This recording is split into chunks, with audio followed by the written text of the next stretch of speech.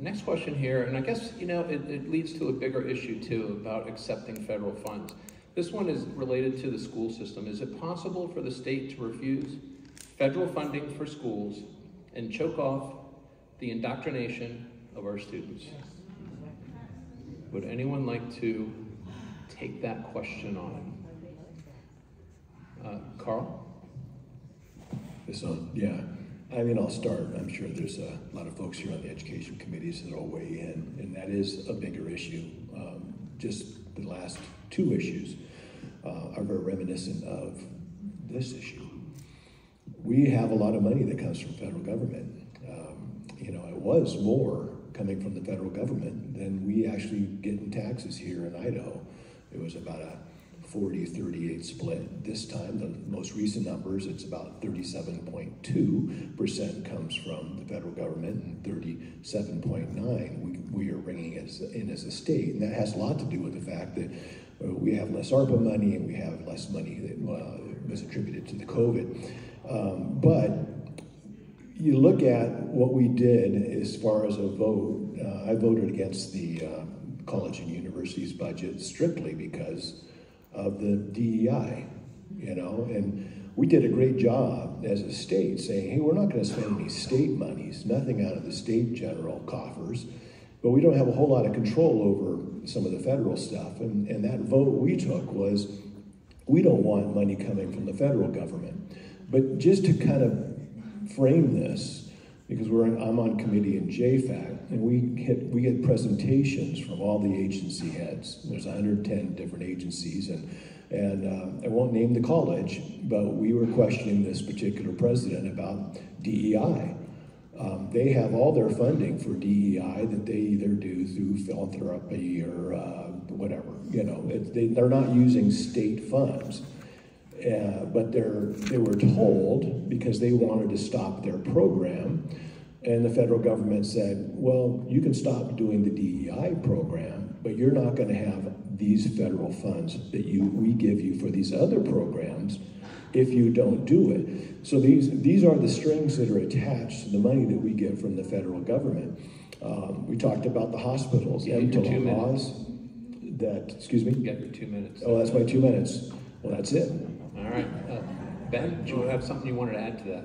I, I think we need competition in education, and I think competition will help the uh, public schools straighten out when uh, they start losing students because of some of these uh, programs to the um, other alternatives in education that I think it'll make our public schools better. So anything we can do to create competition in education, I think could help.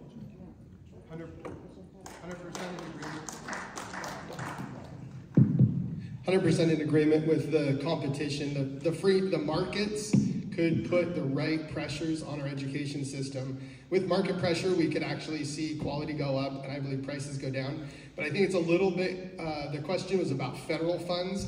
Uh, I really like what uh, Utah has done. They've actually set a budget up that is how they would run their state without federal funds.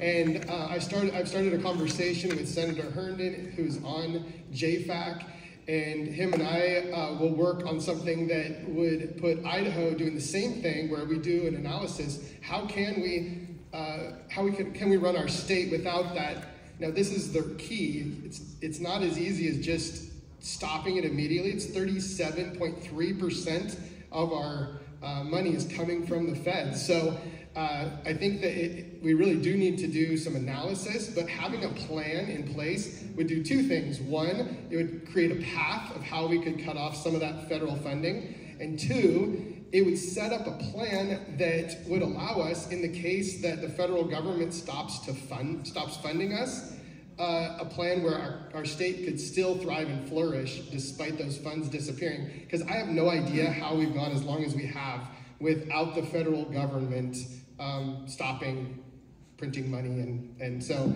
I see that as going away at some point, and if, if it goes away, we need to have a plan to deal with it. Thank you. Ron? And just, sorry. and just being on the education committee, um, we have to change the makeup of our legislature and the House committee as well. We're not gonna be able to stop any funding if we don't have more conservative people.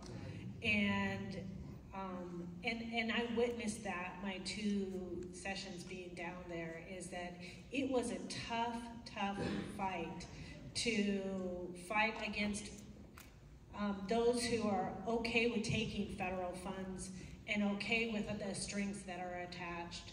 So that's going to take a big shift in um, beliefs of people who are down in the state house. And uh, just a couple things. Uh, Idaho is dependent on federal money. Uh, we, we just need the federal money. One of our problems is the federal lands issue. 62% of Idaho is federal, federally owned land. I asked, uh, as chairman of the resources, I, the Idaho State Geological Survey, there's a guy, he's in, in Boise, or not Boise, but in Moscow at University of Idaho. And I asked him, I said, you know, I've been telling people when I campaign that Idaho has at least a trillion, and a trillion is a giant number, if, for those of you who have never really played with all the zeros, but it's a giant number, a trillion dollars in mineral wealth in this, in this state. And I said, am I blowing smoke? And he thought for a minute, he just didn't say, and he said, No, you're not. He said, um, Because there are so many minerals, there's so much wealth in this state. We've got gold and, and uh, Salmon River. We've got, they're just, this state is incredibly wealthy. If we were able to utilize our own resources that are within our boundaries, we could get by without the federal money. But currently, we are we're stuck with federal money. If we take, say we're not going to take it for education, then they'll cut us off somewhere else. They know how to play this game and they know how the money can control the policy. And that's what they've been doing. They've been playing us for a while. But the solution to this would be for the state to take control of the federal lands. And if we did that, we. Thank you. Thank you. Uh, this next question, I want to give you a little bit of context here. Know, for those of you who were not aware, uh, next month the ATF is uh, going to implement a rule that says if you sell a gun at a gun show for a profit, uh, they're going to deem it as a, a, transaction that should have been done with an FFL. And if you don't have an FFL, uh, you risk facing uh, jail time and uh, prosecution here. So, you know, what's largely happening in this country is that our rights and freedoms aren't typically being taken away wholesale. They're being taken away through death by a thousand cuts.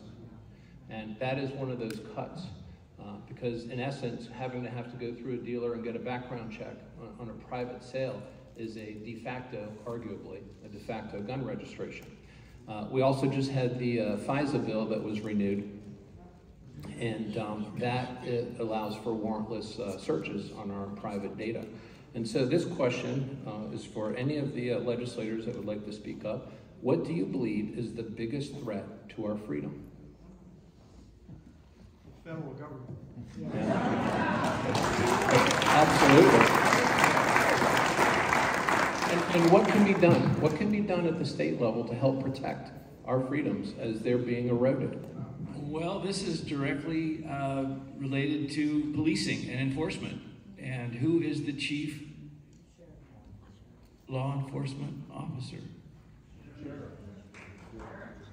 So if we can assume for a moment that our sheriff is going to stand up and say, wait a minute, you have no jurisdiction here to the federal government in every instance, and is able to make sure, and we've talked about this briefly, but make sure that any federal agent that is going to try and act within the county is going to have to check with the sheriff first before they act, or they're going to be subject to arrest. I don't know how that's going to work technically, but but the Supreme Court has made it very clear uh, on the adjudication of that Brady bill. The Supreme Court has made it very clear that the sheriff is the chief law enforcement officer and that the federal government has no power other than what we let them with respect to rules, with respect to the CFR, with respect to so much that we're just acquiescing to. And as uh, has been mentioned, the statists in Boise are numerous. And it is astounding to me that they think in terms of will the state agency, will the schools, will they have enough money to do their job? Forget about the taxpayer. So if we're talking about referencing federal government, the sheriff is the guy. He's the guy, and we're going to assume that our sheriff is going to do that. But in that Printz, that uh, Printz versus U.S. Uh, uh, challenging the Brady bill, there were only seven sheriffs that challenged that bill. Only seven. I don't. I don't know how many there are. Maybe the sheriff knows, but but only seven sheriffs challenged that. So even within that realm of the chief law enforcement officer, we don't have sheriffs that believe that the state is paramount, not the federal or the general government. Enough said.